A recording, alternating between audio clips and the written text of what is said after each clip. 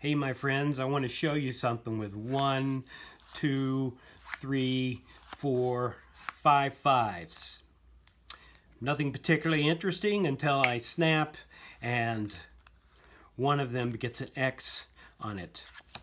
I can snap again and another one gets an X on it. I can wiggle the pack and another one gets an X on it do it again and one gets an X on it. I can take the last one and just touch one and we get an X and do it again and again and again and again. Thanks for watching.